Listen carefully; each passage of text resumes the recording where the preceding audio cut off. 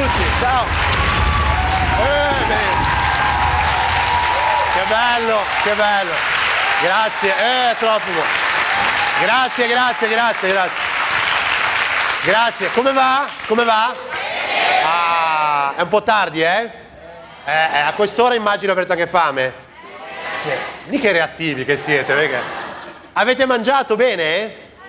Sì. No, tu cosa hai mangiato?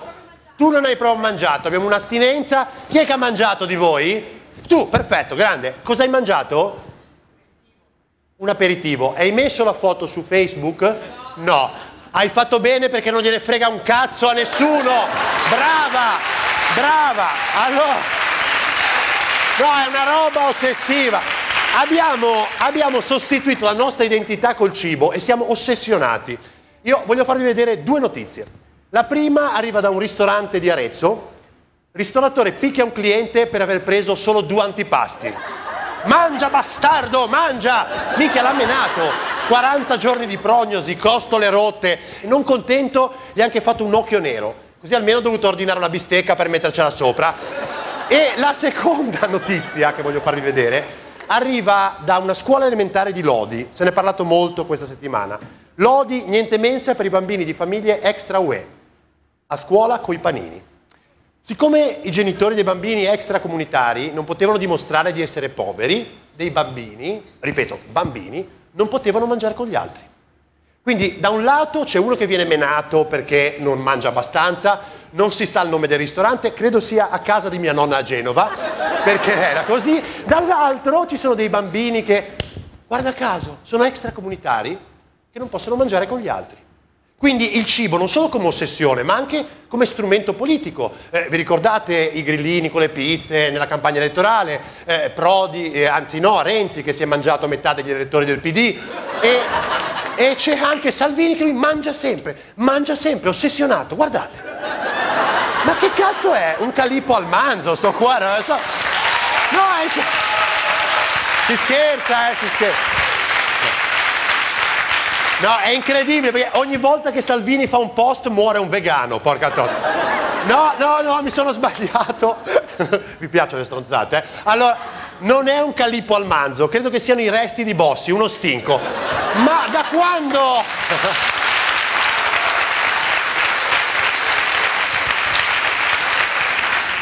A parte le scemate, da quando il cibo è diventato un'ossessione? Da adesso con i programmi di cucina? No, il cibo è sempre stato un'ossessione. È una storia lunga che trae origini dalla Bibbia e ne portiamo le conseguenze ancora oggi. Voi vi ricordate qual è stata la prima grande incazzatura di Dio? Non mangiare la mela, non mangiare la mela, non mangiare la mela. E per colpa di una mela che Eva, la prima fruttariana della storia, ha offerto ad Adamo. Bene, finezze non mi ad Adamo, il primo infogliato della storia, il padrone del frutteto si è incazzato tantissimo e adesso io invece che girare nudo nell'Eden, in un giardino bellissimo, pieno di gnocca così, per colpa di una cazzo di melinda biologica, devo vivere in un bilocale nei vicoli di Genova. Ma porca Eva! Oh, veramente!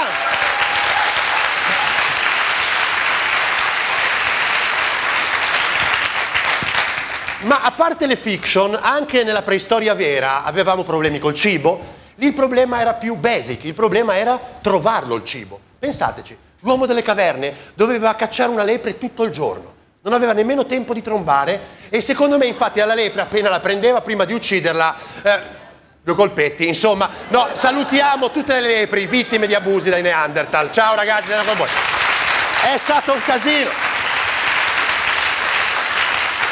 Facciamo un salto in avanti, arriviamo anche all'epoca di Gesù. Lì anche erano fissati col cibo, avevano un problema. Infatti, quando è che hanno cominciato a prendere Gesù sul serio? Con i miracoli, bravo, ma con quale esattamente? Beh, abbiamo un catechista in sala, grande, con la moltiplicazione dei pani e dei pesci, bravo, cibo, erano già ossessionati, gli altri miracoli non glieli cagavano, ha curato la lebbra, ha fatto camminare un paralitico, ha fermato una tempesta, ha camminato sull'acqua, niente, non avrà abolito la povertà come Di Maio, ma anche Gesù, voglio dire, era abbastanza, abbastanza bravino anche lui. Cioè. No, raga, scusate, pensateci, ha resuscitato Lazzaro. Ne... Eh, sì. Ce ne vuole per far resuscitare uno? Niente, erano fissati solo con la moltiplicazione dei pani e dei pesci. C'era Lazzaro che girava per la strada e diceva, raga, mi ha resuscitato. E gli altri dicevano, ma che cazzo me ne frega, c'ho il panino col tonno, vai via. Walking Dead, via la cazzo. Erano stessi. E da lì le cose non sono cambiate molto per tanti anni, fino a quando Colombo ha scoperto l'America. Scoperto. Diciamo che ci ha sbattuto contro.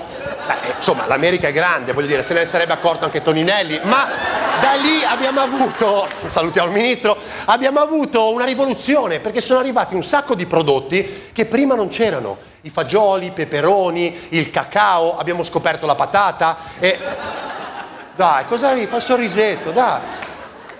No, voglio dire che finalmente c'era la patata per tutti e basta! Allora, insomma, la patata costava poco, ce n'era molta e non sto parlando di figa, basta! Per favore! Basta! Voglio bene anch'io. Insomma, cinque secoli fa dall'America sono arrivati tutti questi prodotti e vent'anni fa dall'Inghilterra è arrivato un nuovo modo per cucinarli. È arrivato Masterchef. Eh. No, a parte le risate, non so se avete notato, America e Inghilterra. Sono i due posti dove si mangia più di merda al mondo in assoluto. È come se i francesi ci insegnassero a usare il bidet o gli svedesi come funziona la mafia. Non so se avete capito. Ma è pazzesco. E sapete di chi è la colpa? No, ve lo dico io, di lui. Porca trota, Joe Bastianic, brutto Bastianic che non sei altro. E da quel momento i palinsesti televisivi che fino a quel momento si erano concentrati sul binomio mai abbastanza rimpianto tette e culi di donne, hanno iniziato a inserire cosce sovraccosce di gallette hamburghesi perché funzionavano di più. Avete capito il cambiamento epocale? Ci interessa più un arrosticino che la figa. No, no, no, ma aspetta, aspetta, aspetta. Ma poi si sono fatti leggerissimamente prendere la mano con i programmi televisivi. Avete notato? Ce ne sono non tanti, pochini. Io ho provato a scriverli e proverei con voi questo esperimento. Vediamo, spero di non averne dimenticato qualcuno.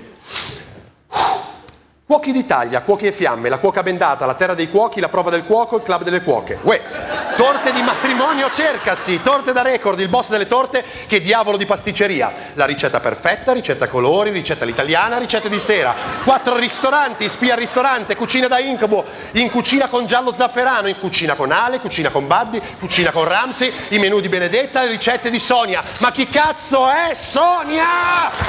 Porca trota! Una roba impressionante!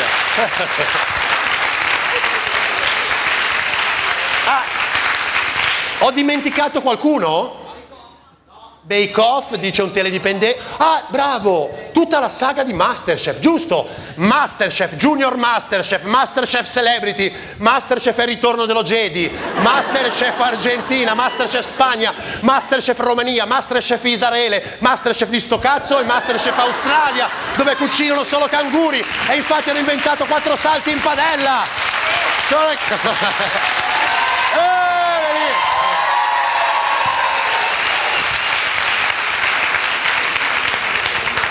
Ma il problema è che questi programmi hanno creato tutta una serie di cuochi eh, della domenica teledipendenti come me che non sanno neanche aprire la sottiletta, eh, la pellicola, ma vogliono cucinare come cracco. Andiamo a comprare tutti i prodotti giusti. Andiamo a Bronte, compriamo il pistacchio di Bronte, andiamo a Colonnata, compriamo il lardo di Colonnata, già che siamo di strada ci fermiamo a Verona per su- suonare a casa di Giovanni Rana e scappare, giusto per rompere i coglioni. Prendiamo tutti questi prodotti li mettiamo insieme, li cuciniamo a bassa temperatura, li impiattiamo e dopo tutto questo sbattimento viene fuori, non per falsa modestia, un bel piatto di merda e in più crudo perché l'hai fatto a bassa temperatura. Vediamo, vediamo l'immagine. Allora, secondo voi, qual è il piatto che ha cucinato Cracco e quello che ho cucinato io? Grazie. E quindi i pistacchi di Bronte, il lardo di colonnata e soprattutto sta cacata che ho cucinato io finisce nella spazzatura e sprechiamo il cibo. Un tempo si diceva non sprecare il cibo, pensa ai bambini in Africa. Adesso finalmente lo possiamo dire, non sprecare il cibo, pensa ai bambini di Lodi.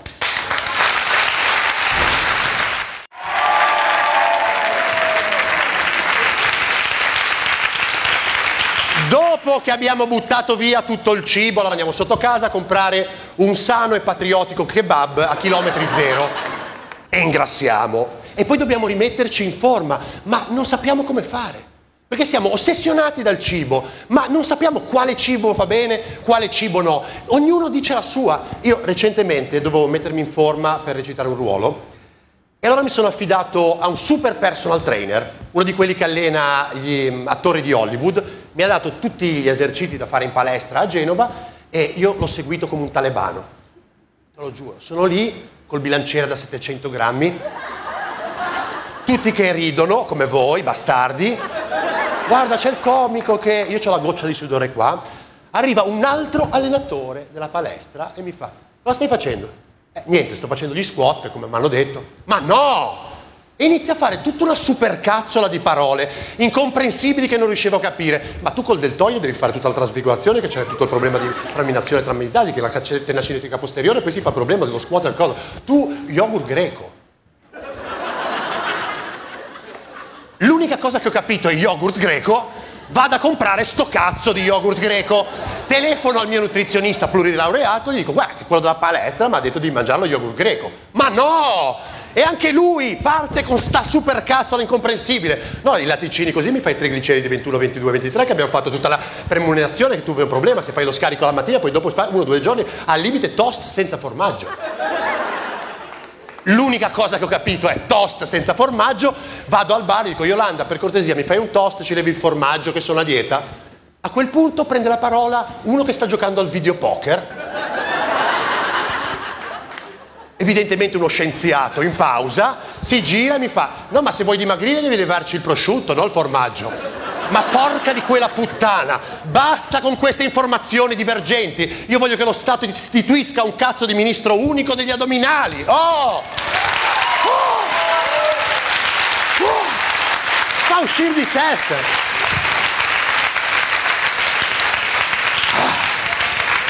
Scusatemi per lo sfogo ragazzi, la verità è che non c'è un piano alimentare che garantisca la vita eterna, basta non essere ossessionati col cibo. Infatti l'unico che ha ottenuto la vita eterna nella storia, sapete chi è?